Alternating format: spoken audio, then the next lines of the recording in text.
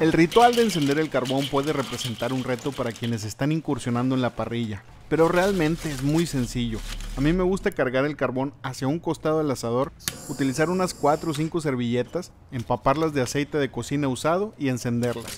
Como si se tratara de un yenga de fuego se va apilando una torre de carbones encima de la lumbre. Cuando el carbón deja de soltar humo y se ve cubierto de ceniza, ya podemos poner la carnita sobre la parrilla.